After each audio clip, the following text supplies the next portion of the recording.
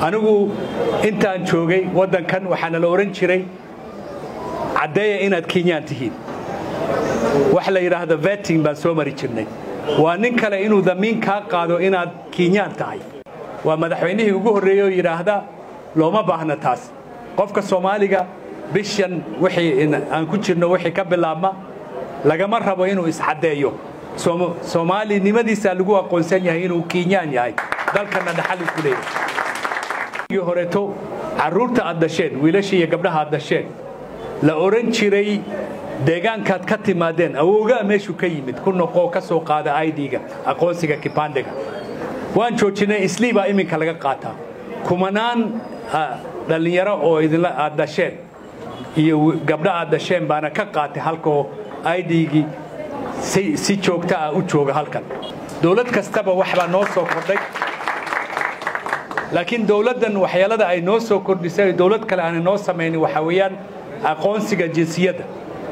Anigu intaan joogay waddankan waxaana la odhan jiray caddeeya inaad kenyaan tihiin. Wax la yidhaahdo vetting baan soo mari jirnay. Waa nin kale inuu damiin kaa qaado inaad kenyaan tahay. Macnihii laguma ogoleen inaad kenyaan tahay. Laakiinse maanta waa madaxweynihii ugu horreeyey oo yidhaahda looma baahna taas.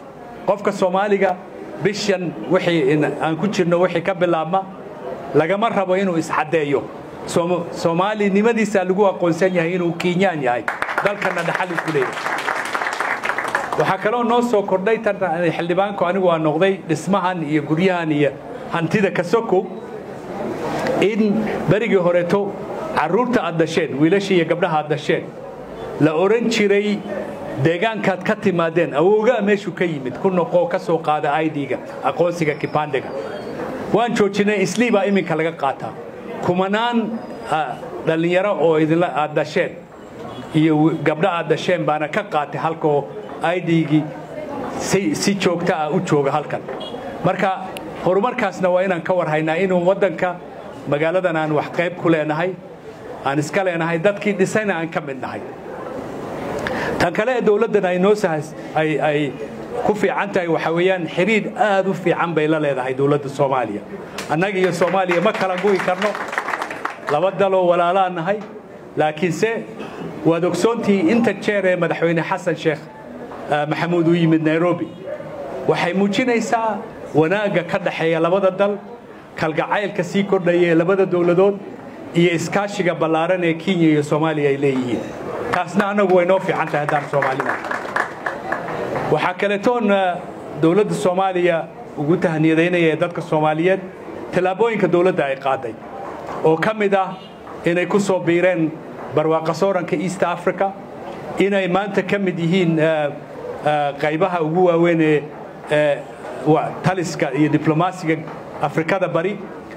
Wiigan gudihiisana soomaaliya ay ku guulaysatay in loo doorto ummadaha midoobay kursiga security councilka oo ah waa wana waktigii ugu muddo konton sano laga joogo ayaa ugu dambaysaan u malaynaya haddaanay ka years labiyo konton sana safiirka marka runtii maalmahan dambena waxaan arkaa in dagaalkii lagula jiray nimankii burcadka ahaa ee waddanka burburiyey uu sii xoogaysanayo goobo badanna ay ku jabeen.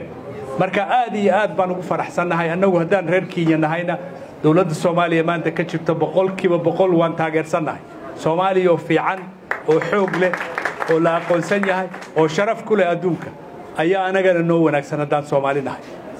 Laakiinse waxaan ka digayaa uun dhowr arrimood oo deg deg ah sababtoo wakhtigu uu nagu kooban yahay.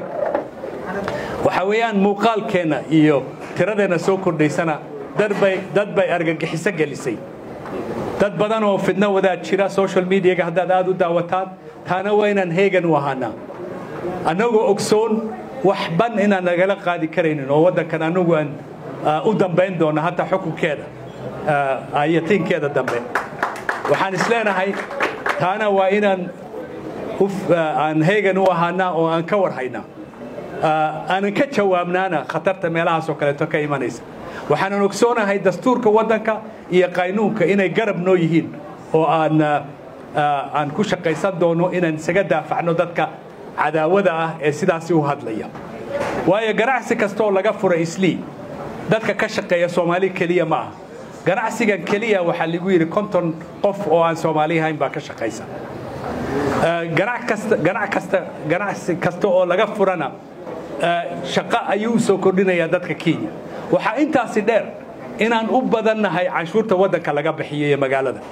Boqolkiiba shan iyo soddon iminka waxaa hubaala canshuurta nairobi laga qaado in ganacsiga soomaalidu ay bixiyaan. Markaas annagu waxaan leenahay dalkan waan degannahay horumarkiisaan ka shaqaynaynaa